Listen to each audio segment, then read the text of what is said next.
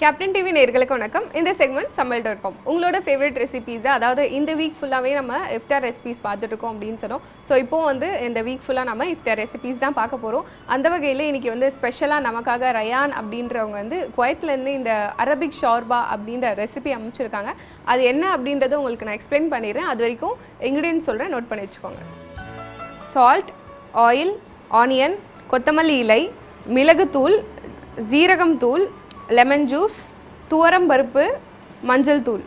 இன்க்ரீடியன்ஸ்லாம் note பண்ணியிருப்பீங்க நான் Arabic shorba அப்படின்றது என்ன அப்படின்றது கண்டிப்பாக சொல்லிடுறேன். பட் அதுக்கு முன்னாடி ஒரு சின்ன ப்ராசஸ் இருக்குது இந்த துவரம் பருப்பை வந்து நம்ம வந்து கொஞ்சம் ஊற வச்சிடலாம். ஸோ தட் வந்து நம்ம குக் பண்ணும்போது கொஞ்சம் ஈஸியாக குக் ஆகிடும் ஸோ ப்ரிப்பேர் பண்ண வேண்டியதுன்னு பார்த்தீங்கன்னா இது மட்டும் தான். ஸோ இதை ஊற வச்சிட்டிங்கன்னா நீங்கள் ப்ராசஸ் ஸ்டார்ட் பண்ணிடலாம். ஷோர்பா அப்படின்றது வந்து ஒரு டைப் ஆஃப் ஒரு சூப் மாதிரி அப்படின்னு கூட சொல்லலாம். ஸோ இப்போ நம்ம நார்மலாக வந்து நோம்பு கஞ்சிலாம் இங்கே சாப்பிட்ருப்போம் பார்த்தீங்களா அதாவது இஃப்தியார் டைமில் ஈவினிங் வந்து நோம்பு திறக்கும் போது ஒரு கஞ்சி வந்து மோஸ்ட்லி மாஸ்க்லலாம் ரொம்ப ஃபேமஸ் எல்லாரும் குடிச்சிருப்பீங்க. ஸோ அந்த மாதிரி ஒரு டைப் சேர்ந்தது தான் இது. பட் அங்கே வந்து ரொம்ப ஃபேமஸான ரெசிபி இது அரேபியன் ஷோர்பா அப்படின்னு சொல்லுவாங்க. இது எப்படி செய்யலாம் அப்படின்றத ஃபஸ்ட்டு பார்த்துடலாம். கேஸ் ஆன் பண்ணிக்கோங்க.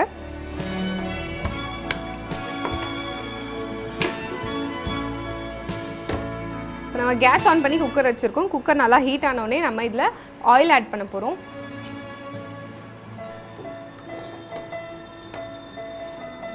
ஸோ இப்போ நம்ம குக்கர் நல்லா ஹீட் ஆகிடுச்சு இதில் ஒரு ரெண்டு டு மூணு டேபிள் ஸ்பூன் வரைக்கும் நீங்கள் ஆயில் ஆட் பண்ணிக்கோங்க. இதில் நீங்கள் நெய் கூட ஆட் பண்ணிக்கலாம் பட் வந்து ஆப்ஷனல் தான். ஸோ இப்போ நல்லா இது ஆயில் நல்லா ஹீட் ஆன பிறகு அடுத்து நம்ம இதில் ஆனியன்ஸ் போட்டு நல்லா ஃப்ரை பண்ண போகிறோம் ஸோ நான் சொன்ன மாதிரி இந்த டிஷ் பார்த்திங்கன்னா ரொம்பவே சிம்பிள் நம்ம வந்து நோம்பு கஞ்சி பார்த்திங்கன்னா அது கொஞ்சம் பெரிய ப்ராசஸ் அது வந்து வேகிறதுக்கே வந்து ரொம்ப லேட்டாகும் அது இல்லாமல் நிறைய நிறைய ஸ்பைசஸ் நிறைய வந்து அதில் கொத்தமல்லி அந்த மாதிரி விஷயம்லாம் நிறைய போடுவாங்க.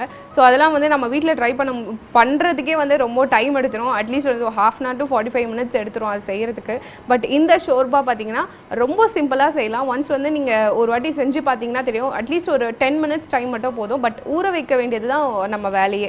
ஊற வைக்கிறது வந்து நல்லா ஒரு ஹாஃப் அன் ஹவர் இல்லை ஒரு மணி நேரத்துக்கு நல்லா ஊற வச்சிட்டிங்க அப்படின்னா அந்த பருப்பு வந்து ரொம்பவே சாஃப்ட் ஆகிடும் அதாவது குக் பண்ணும்போது ரொம்ப ஈஸியாக குக் ஆகிடும் டோட்டலாக பார்த்தீங்கன்னா ஒரு ஃபிஃப்டீன் மினிட்ஸ் மட்டுமே வந்து இந்த டிஷ் எடுக்கும். கண்டிப்பாக நீங்கள் ட்ரை பண்ணி பாருங்கள் ஸ்பைசஸ் கூட ரொம்ப அதிகமாக இருக்காது. ஏன்னா நம்ம நோன்பு வைக்கும் போது பார்த்தீங்கன்னா நிறைய ஆல்ரெடி வந்து நமக்கு காலியாக இருக்கும் வயிறு. ஸோ திடீர்னு எடுத்தோடனே நம்ம ஃபஸ்ட்டு வந்து தண்ணி குடிச்சிட்டு நோன்பு திறப்போம். பட் உடனே ஸ்பைசி ஃபுட்லாம் சாப்பிட்டா சில பேருக்கு வயிறு எரிய ஆரம்பிச்சிடும் ஸோ அதெல்லாம் வந்து இதில் வந்து எந்த விஷயமும் இல்லை. ஸ்பைசஸ் எல்லாமே கம்மி தான். ரொம்பவே நல்லா இருக்கும். இப்போ நம்ம ஆயில் நல்லா ஹீட் ஆகிடுச்சு இதில் ஆனியன்ஸ் ஆட் பண்ணிக்கலாம்.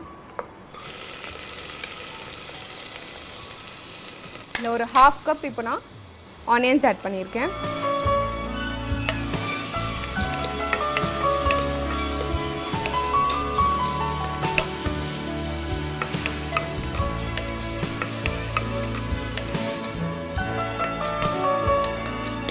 நம்ம ஆனியன்ஸ் பார்த்தீங்கன்னா நல்லா ஃப்ரை ஆயிட்டு இருக்கு இதில் கொஞ்சம் சால்ட் ஆட் பண்ணிக்கலாம்.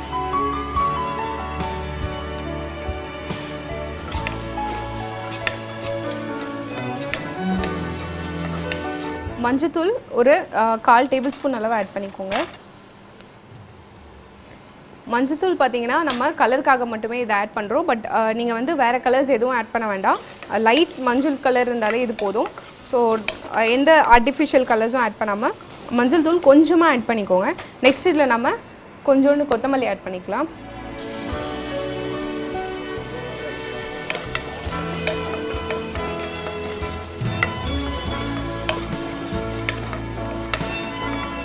இப்போ நம்ம ஆனியன்ஸ் பார்த்தீங்கன்னா வெங்காயம் நல்லா வதங்கிடுச்சு. இதில் நம்ம ஊற வச்ச இந்த துவரம்பருப்பு ஆட் பண்ணிக்கலாம். இதுலேயே வந்து மைசூர் பருப்பு அப்படின்னு சொல்லுவாங்க. நீங்கள் அதை கூட ஆட் பண்ணிக்கலாம். இப்போ நான் துவரம் பருப்பு ஒரு ஒன் கப் வரைக்கும் ஆட் பண்ணிக்கிறேன். மைசூர் பருப்பு பார்த்தீங்கன்னா அதுக்குன்னு ஒரு தனி ஃப்ளேவர் இருக்குது அதாவது கலர் கூட ரொம்பவே நல்லாயிருக்கும் ஒரு மாதிரி பீச் கலரில் டார்க் லைட் ஆரஞ்ச் கலரில் இருக்கும். ஸோ அது கூட நீங்கள் ட்ரை பண்ணி பாருங்கள் அப்படி கிடைக்கல அப்படின்னாக்கா நீங்கள் இந்த துவரம் பருப்பே சாம்பாருக்கு போடுற பருப்பே நீங்கள் ஆட் பண்ணி பண்ணிக்கலாம். நெக்ஸ்ட் இதில் நான் ஜீரகம் தூள் ஆட் பண்ண போகிறேன் ஜீரகம் தூள் இப்போ ஒரு ஹாஃப் டேபிள் ஸ்பூன் அளவு ஆட் பண்ணிக்கலாம். காரத்துக்கு நான் சொன்ன மாதிரி பச்சை மிளகாய் எதுவுமே போடல நம்ம. ஸோ வெறும் பெப்பர் தூள் மட்டும் ஆட் பண்ணுறோம் அது ஒரு ஹாஃப் டேபிள் ஸ்பூன் ஆட் பண்ணிக்கலாம். சால்ட் வந்து நம்ம ஸ்டார்டிங்லேயே கொஞ்சம் ஆட் பண்ணியிருந்தோம். இப்போ அகெயின் கொஞ்சம் பருப்பு போட்ட பிறகு லாஸ்ட்டாக நம்ம மூடுறதுக்கு முன்னாடி நம்ம டிஷ்க்கு தேவையான சால்ட் இதில் ஆட் பண்ணிக்கலாம்.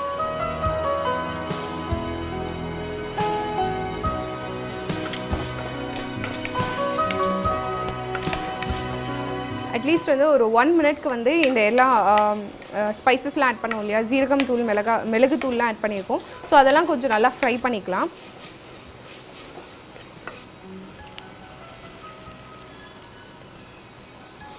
அடுத்து இதில் நம்ம ஒரு uh, ரெண்டு கப் அளவு வாட்டர் ஆட் பண்ணிக்க போகிறோம் இந்த ஷோர்பா பார்த்தீங்கன்னா வந்து உங்களுக்கு வந்து ரொம்ப கெட்டியும் இல்லாமல் ரொம்ப வாட்டரியாகவும் இல்லாமல் ஒரு சூப் டைப்பில் இருக்கும். பட் வந்து சூப்னால் நம்ம அந்த வாட்டரியாக இருக்கும் பார்த்தீங்களா? கிளியர் சூப் மாதிரி இருக்காது. கொஞ்சம் திக்காகவே இருக்கும் அது. பிகாஸ் அந்த தால்லாம் பார்த்தீங்கன்னா நல்லா வெந்து நல்லா மேஷ் ஆகணும். அப்படியே முழுசாக இருந்ததுன்னா அந்த பருப்பு வந்து நம்ம கடைஞ்சிருவோம் இல்லையா? அந்த மாதிரி இல்லாமல் இது அட்லீஸ்ட் ஒரு அஞ்சு ஆறு விசில் வரைக்கும் நீங்கள் கொடுத்து நல்லா வேக வச்சுட்டு அப்புறமா வந்து லைட்டாக நம்ம மேஷ் பண்ணிக்கணும். ஸோ அதுக்கு தேவையான அளவு நீங்கள் ஒரு ரெண்டு கப்ல இருந்து ஒரு ரெண்டரை கப் வரைக்கும் வாட்டர் ஆட் பண்ணிக்கலாம்.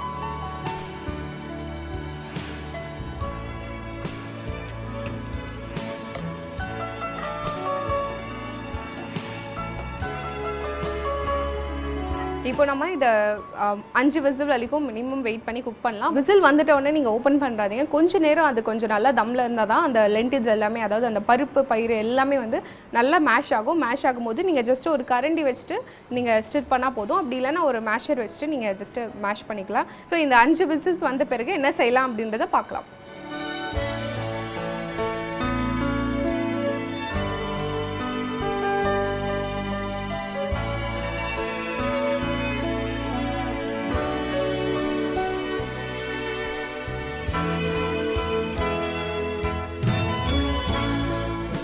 இப்போ நம்ம அந்த அரபிக் ஷோர்பா வந்து ரெடி பண்ணிட்டோம். பட் ஆனால் இந்த ப்ராசஸ் பார்த்தீங்கன்னா இன்னும் கம்ப்ளீட் ஆகலை. இன்னும் ஒரு ரெண்டு இன்க்ரீடியன்ஸ் இருக்குது அப்படின்னு சொல்லியிருந்தேன் இல்லையா? அது என்னென்னா இந்த லெமன் ஜூஸ் தான். லெமன் ஜூஸ் வந்து எப்பவுமே நம்ம ஃபைனலாக தான் ஆட் பண்ணுவோம். அது ஏன் அப்படின்னாக்கா கசப்பாயிடுவோம் அப்படின்றது தெரியும். எந்த ஒரு விஷயத்துலையும் வந்து பிரியாணிலையும் சரி இல்லை எந்த ஒரு ஃபுட் நம்ம செய்யும் போதும் குக் பண்ணும்போது லெமன் ஜூஸ் ஆட் பண்ணிங்கன்னா அந்த டிஷ்ஷே பார்த்தீங்கன்னா கொஞ்சம் கசப்பாயிடும். ஸோ ஃபைனலாக இப்போ இந்த லெமன் ஜூஸ் நான் ஒரு ஒரு ஒன் டேபிள் ஸ்பூன் அளவு நான் ஆட் பண்ணிக்கிறேன். ஃபைனலாக இந்த கொத்தமல்லி கொஞ்சம் ஆட் பண்ணிக்கலாம். இது ஒரு அஞ்சு விசில் வரைக்கும் நீங்கள் வச்சு இல்லைன்னா ஒரு ஆறு ஏழு கூட வைக்கலாம் ஒன்றும் பிரச்சனை இல்லை. பட் வந்து நீங்கள் கடைய வேண்டிய விஷயம் வந்து இருக்காது. ஸோ அதனாலேயே கொஞ்சம் நிறைய விசில்ஸ் கொடுத்து ஒரு ஹாஃப் அன் ஹவருக்கு அதை விட்டுருங்க. அந்த பருப்பு எல்லாமே பார்த்தீங்கன்னா ரொம்ப சாஃப்ட் ஆகிடும் ஜஸ்ட் நீங்கள் இந்த மாதிரி ஒரு ஸ்பூன் போட்டு நல்லா மிக்ஸ் பண்ணி விட்டிங்கன்னா அது நல்லா ஒரு திக்கான கன்சிஸ்டன்சிக்கு வந்துடும் ஸோ இப்போ நம்ம இதை சர்விங் பவுலுக்கு மாற்றலாம்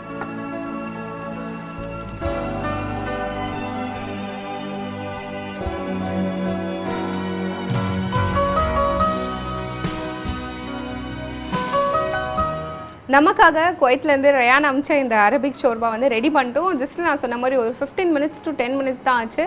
ஊற வச்சதில் அந்த லென்டில்ஸ் பார்த்தீங்கன்னா அந்த பயிர் அந்த பருப்பு வந்து ரொம்பவே சாஃப்ட் ஆயிடுச்சு. ஸோ அதை ஒரு ஆறு விசில் வச்சிட்டிங்கன்னா போதும். இந்த டிஷ் வந்து ரொம்ப சீக்கிரமாக ரெடி ஆகிடும் அண்ட் இது வந்து ரொம்பவே ஹெல்தி கூட இதில் நிறைய ப்ரோட்டீன்ஸ் எல்லாம் இருக்குது அந்த பருப்பில். ஸோ கண்டிப்பாக இதை ட்ரை பண்ணி பாருங்கள் அண்ட் இன்கேஸ் வந்து நீங்கள் அந்த புதினா வந்து நீங்கள் இது என்னோட டிப் அப்படின்னு கூட சொல்லலாம். நான் என்ன ஃபீல் பண்ணேன் அப்படின்றத இந்த புதினா இருக்கு இல்லையா அதை கூட நீங்கள் ஆட் பண்ணி பாருங்கள் ரொம்பவே நல்லாயிருக்கும் அந்த புதினாவோட ஃப்ளேவர் வந்து கொஞ்சம் இந்த சூப் வந்து இன்னும் கொஞ்சம் வந்து ஃப்ளேவர்ஸ் அதிகமாக பண்ணி கொடுக்கும். ஸோ இதை கண்டிப்பாக நீங்கள் ட்ரை பண்ணி பார்த்துட்டு எப்படி வந்திருக்கு அப்படின்ற ரிவ்யூஸ் அண்ட் கமெண்ட்ஸை கூட கண்டிப்பாக ஷேர் பண்ணுங்கள் அது மட்டும் இல்லாமல் இந்த வீக் ஃபுல்லாக நம்ம எஃப்டிஆர் ரெசிபிஸ் பார்க்க போகிறோம் அப்படின்னு சொல்லிட்டு அந்த ரெசிபிஸ் உங்கள்கிட்ட இருந்ததுன்னா கண்டிப்பாக ஷேர் பண்ணுங்கள் நான் உங்களுக்காக செஞ்சு காட்டுறேன். மீண்டும் ஒரு நல்ல ரெசிபியோட உங்களை நாளைக்கு வந்து சந்திக்கிறேன். Till then is bye from Reshma Arabic shorba எப்படி செய்யலாம் அப்படின்ற ரீகேப் பார்க்கலாம். ஃபஸ்ட்டு ஒரு குக்கர் எடுத்துக்கோங்க. அதில் ரெண்டு டேபிள் ஸ்பூன் ஆயில் ஊற்றிட்டு நல்லா ஹீட் ஆனவுடனே அரை கப் வெங்காயம் போட்டு நல்லா வதக்கிக்கோங்க. வெங்காயம் நல்லா வதக்கினோடனே சால்ட் மஞ்சள் தூள் ஊற வச்ச துவரம்பருப்பு ஜீரகம் தூள் அரை டேபிள் ஸ்பூன் பெப்பர் தூள் அரை டேபிள் ஸ்பூன் இதெல்லாம் மிக்ஸ் பண்ணி ஒரு ரெண்டு கப் அளவு தண்ணி ஆட் பண்ணி ஒரு ஃபைவ் விசில்ஸ் வரைக்கும் வேக விட்டுட்டு அஞ்சு விசில்ஸ் வந்தோடனே குக்கர் ஓப்பன் பண்ணிட்டு எடுத்து வச்சிருக்க lemon juice and coriander leaves add பண்ணி சர்வ் பண்ணிங்கன்னா டேஸ்டியான அரபிக் ஷோர்பா ரெடி